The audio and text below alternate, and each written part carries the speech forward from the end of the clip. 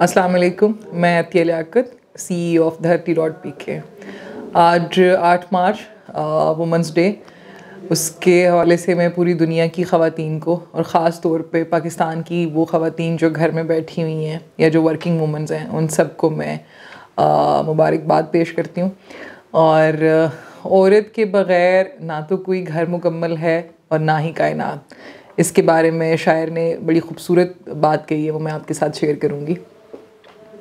अगर बज़ में इंसान में औरत ना होती, अगर बज़ में इंसान में औरत ना होती, ख्यालों की रंगीन जन्नत ना होती, सितारों के दिलकश फसाने ना होते, बहारों की नाजुक हकीकत ना होती, जबीनों पे नूर मुसरत ना होती, निगाहों में शान मुरवत ना होती। घटाओं की आमद सामन तरसते फ़िज़ाओं में बहकी बगावत ना होती। फ़कीरों को अरफान हस्ती ना मिलता। फ़कीरों को अरफान हस्ती ना मिलता। अता जाहिदों को इबादत ना होती। मुसाफिर सदा मंजिलों पर भटकते। सफ़ीनों को साहिल की कुर्बत ना होती।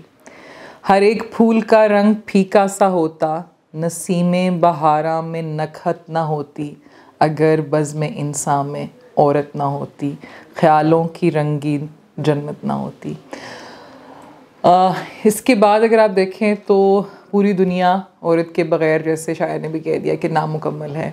लेकिन हमारे इस्लाम में औरत का मुकाम जो दिया गया जो बताया गया वो किसी और मज़हब में नहीं है कि आपको अल्लाह ताला ने कह दिया कि औरत वो चीज़ है कि मैंने जन्नत को उसको पैरों के नीचे दे दिया है। और ये बहुत अच्छी बात है कि हम लोग अब इसको सेलिब्रेट करना शुरू कर दिया है। और इन एक दिन आएगा कि ये प्रूफ भी होगा कि औरत के बगैर वाकई कुछ भी मुमकिन नहीं है। Thank you thank